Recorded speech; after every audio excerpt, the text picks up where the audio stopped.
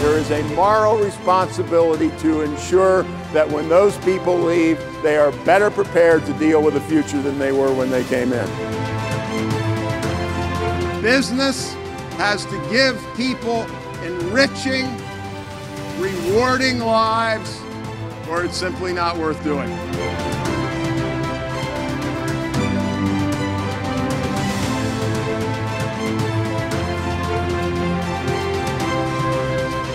This is what you will be remembered for.